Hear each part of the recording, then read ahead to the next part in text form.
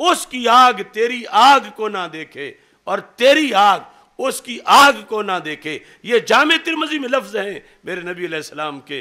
तो बर सगीर के वलियों ने कहा, चलो वहाँ देश बनाते हैं, जहाँ अपनी आग होगी, अपना ही राज होगा। ये है पाकिस्तान का मतलब क्या?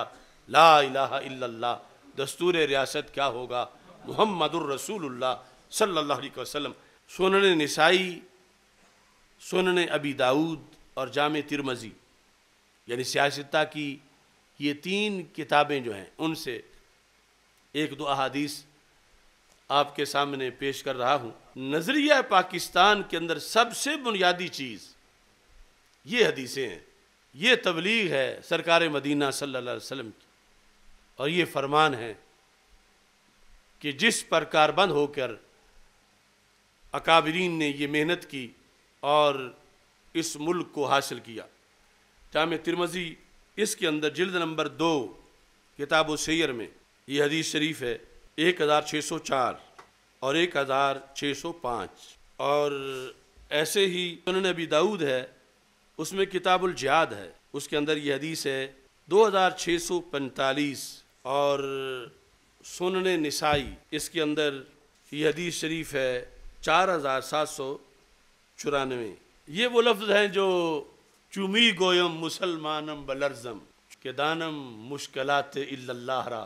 कि रसूल अकरम नूर मुजस्म शफ़ी मुज़म सल्लल्लाहु अलैहि वसल्लम फरमाते हैं, आना बरी मिन कुल्ल मुस्लिम, युकीम बैन अजहर मुशरकिन। मैं उस मुसलमान से बरी हूँ जो मुशरकों के घरों के दरमियान रहता है। यानी उसका घर भी मुशरकों के घरों के दरमियान है। दीन के अंदर नमाज़, रोज़ा, हज, ज़क़़त के अलावा भी बहुत सी चीज़ें हैं।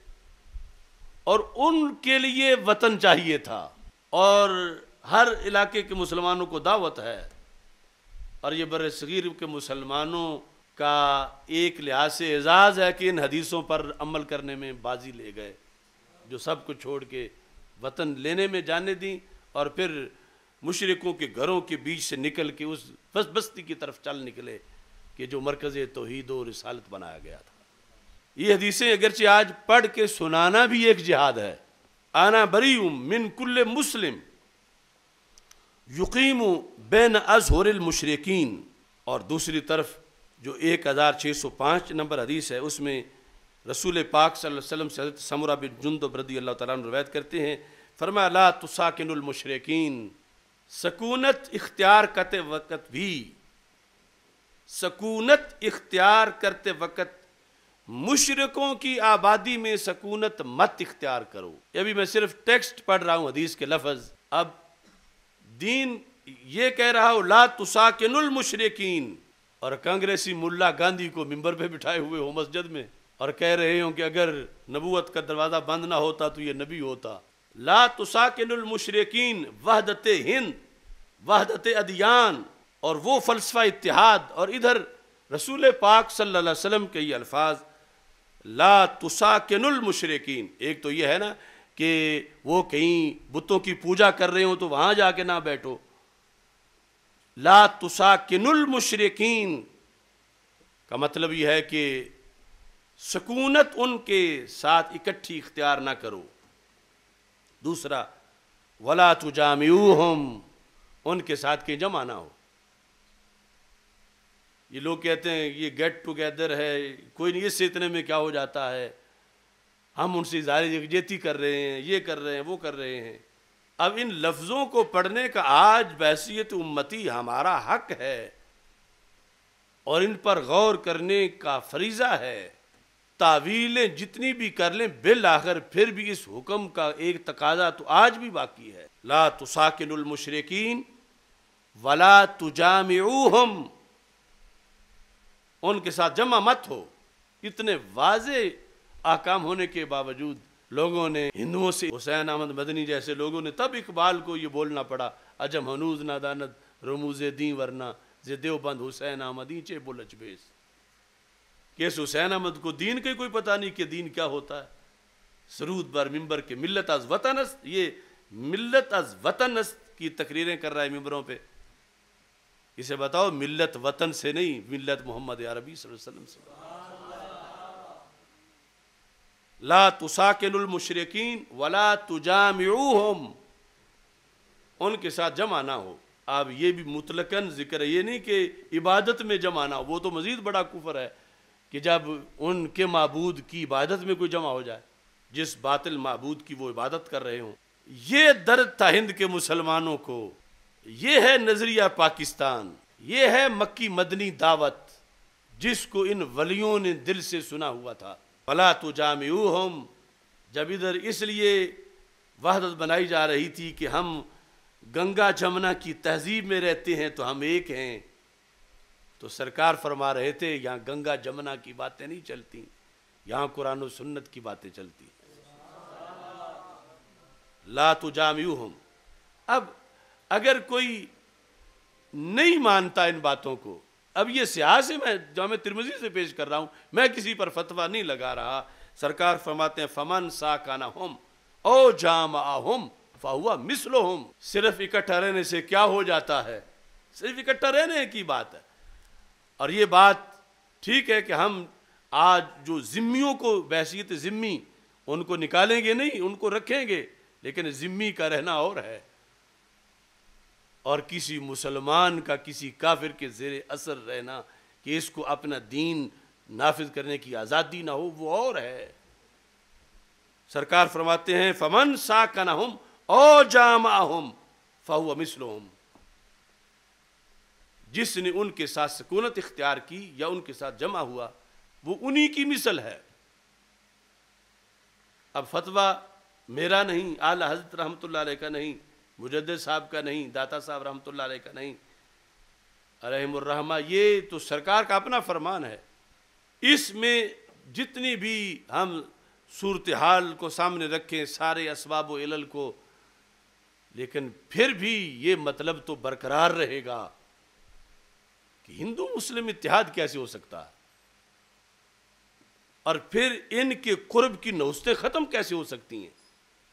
और इनके करीब होने की बुनियाद पर जो एक मुसलमान का नुकसान होता है, फिर उस नुकसान से बचने के लिए मुसलमान को बेदार कितना रहना पड़ेगा? किस अंदाज से? इसमें जो तावील है मिसाल के तौर पर, ये आरजतुलहवज़ी के अंदर एक हदीस की, ला तो तुसाकिनमशरकिन वला तो जाम एक तावील ये है कि ये सख्त हुक्म इतना सख्त उस वक़्त था, जब अभी कुछ मुसलमान कलमा पढ़ के भी मक्का मुकरमा में रह रहे थे और मक्का मुकरमा फतह नहीं हुआ था और सरकार मदीना मुनवरा में थे। तो मना किया कि निकलो वहाँ से और इसी के साथ वो हदीस ला हिजरत बाद फ़तह, कि फ़तह मक्का के बाद हिजरत नहीं। तो मतलब क्या था? वहाँ से हिजरत नहीं, वैसे तो पूरी दुनिया में अगर ज़रूरत पड़ेगी तो हिजरत है। और वो, यानी यूँ के बहसीत फ़र्ज़ हो निकलना और बहसीत हराम हो इतना बड़ा कि बंदा उन्हीं की तरह का हो जाए, ये अगर सिर्फ़ उस वक़्त के लिए ख़ास मान भी लिया जाए, लेकिन फिर भी इसके किस मकसद के लिए सरकार ने ये हुक्म दिया? वो इल्लत तो क़्यामत तक बरकरार रहेगी कि कहीं अगर ऐसे किसी पावर के असरात तुम्हारे ऊपर मुरतब होते हैं और तुम्हें आज़ादी नहीं है कि तुम अपने दीन पर अमल कर सको तो फिर वहाँ रह क्यों तो रहे हो तुम? निकलते क्यों नहीं वहाँ से? या तो अपना लोहा मनवाओ, वो इलाका फतह कर लो, कि तुम्हारा दीन चले, वो बहसीत ज़िम्मी रहें, और या फिर दूसरी सूरत हाल है। लेकिन उसमें जो अगले अल्फाज हैं, रसूल अकरम अलैहि वसल्लम के, वो अल्फाज सारे मुहदसिन ने लिखे कि जब हमारे आका सल्लल्लाहु अलैहि वसल्लम ने फरमाया कि आना बरी मिनकुल मुस्लिम, यकीम बैन अजहरमशरकिन कि जो मुसलमानों के बीच, मुशरकों के बीच में रहे, हो मुसलमान, मैं उसका कुछ नहीं लगता, मैं उससे बरी हूँ, मैं उससे ऐलान ला ताल्लुकी कर रहा हूँ। सरकार दो आलम वसल्लम ने जब ये फरमाया, कालू या रसूल अल्लाह सल्लल्लाहु अलैहि वसल्लम तो सहाबा ने पूछा, या रसूल अल्लाह सल्लल्लाहु अलैहि वसल्लम, इतना सख्त ऐलान किस लिए है? क्या उसने कोई तोहीद का इनकार किया? उसने कोई रिसालत का इनकार किया?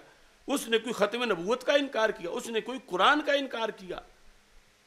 उसने कोई योम आखरत का इनकार किया? फरिश्तों का कोई इनकार किया? कोई किताबों का इनकार किया? ये आप किस बेस पर, यानी यकीनन आपका फरमाना बहक है, बरहक है, करोड़ फ़ीसद सच्चा है, लेकिन इसका मकसद हमें समझा दो, इसमें हिकमत क्या है? ये नहीं कि साहबा को कोई ये एतराज़ था कि ऐसा नहीं होना चाहिए। ऐसा ठीक है जो आपने फरमाया, लेकिन लेमा का ये मतलब है कि क्यामत तक ये बात चलेगी तो फिर इसका मकसद भी तो सामने होना चाहिए कि किस लिए इतनी सख्ती है, क्यों ऐसा कहा जा रहा है?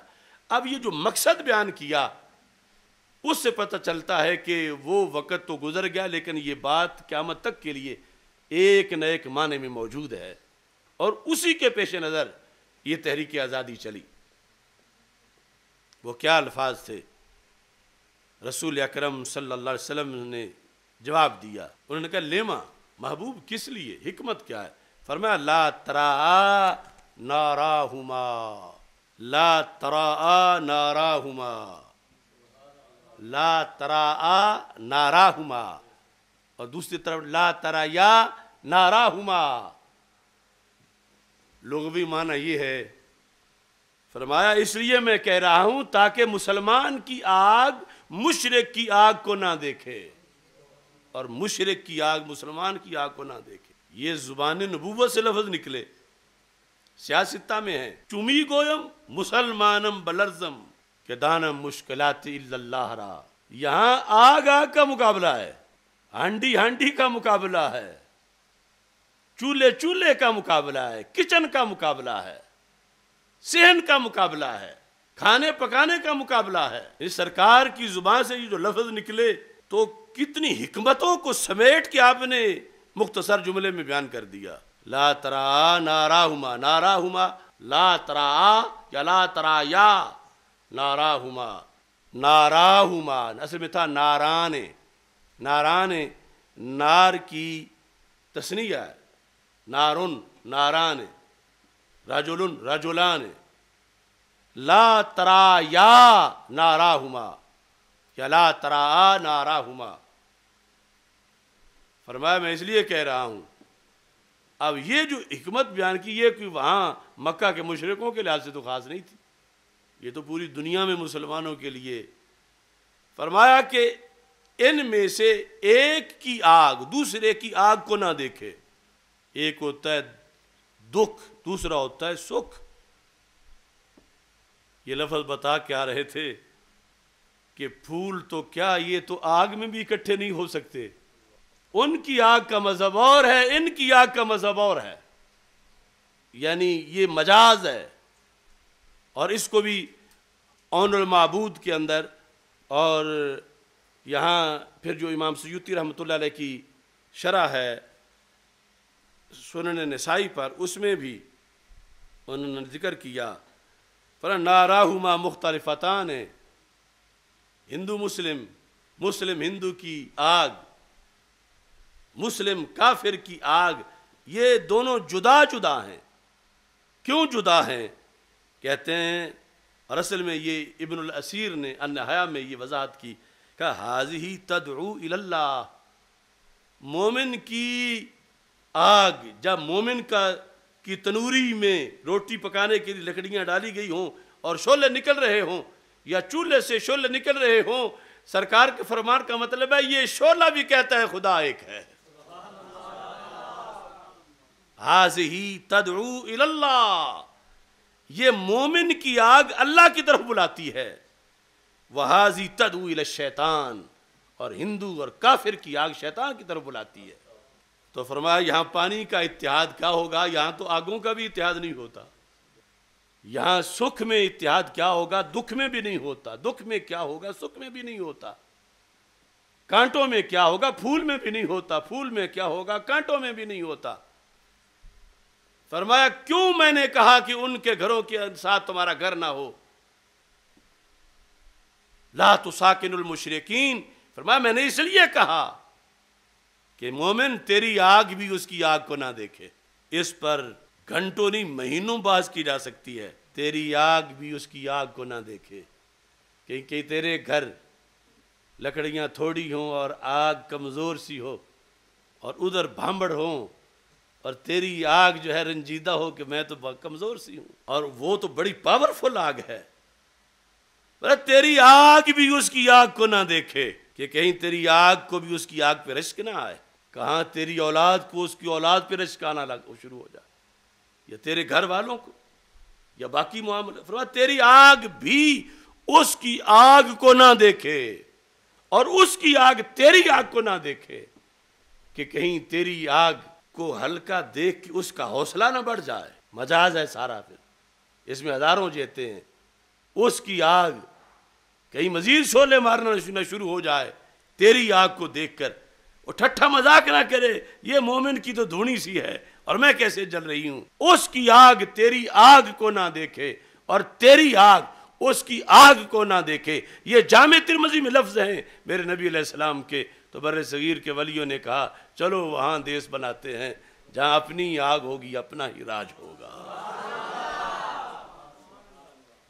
ये है पाकिस्तान का मतलब क्या? ला इल्लल्लाह।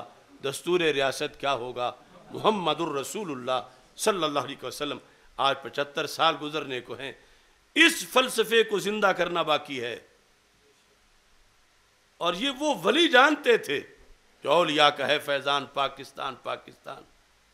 मगर आज इन धतूरे सियासतदानों को क्या पता हो कि मकसद क्या था कि इसकी आग भी उसकी आग को ना देखे। ये चूँकि दीन है, इसमें दिल की अकायद भी हैं, बदन की रिहाइश भी है, और वो भी पूरी करनी है, और उसके लिहाज से ये फिर इसमें निज़ाम सियासत है निज़ाम हुकूमत है ये सारे शोबाजात हैं। और उनके लिहाज से अब ये सिर्फ़ ला तरा नाराहुमा ये इस वक़्त के उलमा को होमवर्क के तौर पर दे दो कि आज समझाओ इस मुल्क के रहने वालों को कि इतनी जानें बीस लाख शहीदों की कमो बेश वो बिला वजह तो नहीं थी, पीछे सरकार के खुतबे थे। और फिर मज़हब के नाम पर अलल ऐलान। वतन लिया, चूँकि सरकार वसल्लम का हुक्म था। और ये दीन हमें सिखाता है, हम किस तरह किसी की लोरियों पे सो जाएँ, या हिंदू मुस्लिम इतिहाद के राग अलापने लगें, या उनकी बोलियाँ बोल के लिबरलिज्म की तरफ़ चले जाएँ। हमारा दीन है, हमारा मज़हब है, हमारा अकीदा है, उसके ये ज़िंदा फरमान है, इतनी किताबों में है। और ये इस बेस पर वतन लिया गया। अब कौन सा वतन है जो इस वतन जैसा हो? मदीना मुनवरा की स्टेट के बाद। आज जो वतन है, और तो रहा, और खुद सऊदी हुकूमत का भी ये नारा नहीं कि सऊदी अरब का मतलब क्या? ला इल्लल्लाह। आज तक अगर किसी ने सुना है तो जवाब दे। ये सिर्फ़ पाकिस्तान है कि बनने से पहले नारा लग गया, पाकिस्तान का मतलब क्या? ला इल्लल्लाह। निज़ाम रियासत क्या होगा? मोहम्मद रसूलुल्लाह सल्लल्लाहु अलैहि वसल्लम। बाकी विरसे बिरादरियाँ और इलाके और रंग और नस्लें और जोग्राफिए वो कार फरमा थे और इसके पीछे ये दीन कार फरमा। ये कलमा है। ये है खुशबू पाकिस्तान। अब कोई कहे कि हमारे मुल्क की भी खुशबू बयान करो तो हम करेंगे अगर उसका नज़रिया ये हो। कोई हमसे कहे कि हम तुम्हारी तकरीरें बड़ी सुनते हैं, मगर जब पाकिस्तान के बारे में करें तो फिर हमें अच्छी नहीं लगती। क्योंकि हमारा देश पाकिस्तान नहीं तो आप अपने देश की बातें करते हैं तो हम अपने देश की बैसीत देश कभी भी बात नहीं करते। हम इसकी, इसके नज़रिए की वजह से बात करते हैं। और दावत है कि सारे इस नज़रिए पे अपनी अपनी जगह देश बनाएँ, इस नज़रिए पे बनाएँ। और फिर इस मुल्क में रहते हुए फिर ये दावत है कि इतना मुकद्दस मकसद था तो फिर उसको छोड़ा क्यों जा रहा है?